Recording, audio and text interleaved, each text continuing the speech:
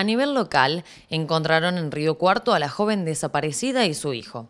La joven madre de 22 años y su hijo de 2 años fueron localizados en nuestra ciudad en la mañana de hoy, luego de horas de intensa búsqueda.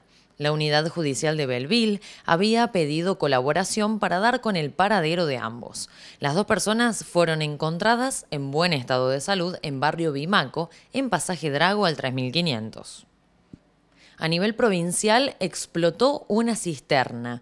Un operario de 36 años que fue a cargar combustible con un cigarrillo encendido resultó con quemaduras al explotar la cisterna con gasoil en un galpón ubicado en calle Chocón al 440 de Barrio Los Olmos de la ciudad de Villa María. En total, seis unidades de bomberos con 30 efectivos trabajaron en el lugar y a nivel nacional el Garrahan se presentará como querellante.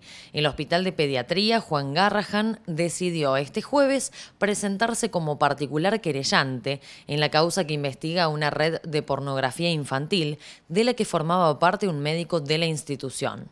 Asimismo, ratificó la decisión de instruir sumario administrativo y apartar inmediatamente de sus funciones al jefe de inmunología y reumatología del Hospital Garrahan, Ricardo Russo.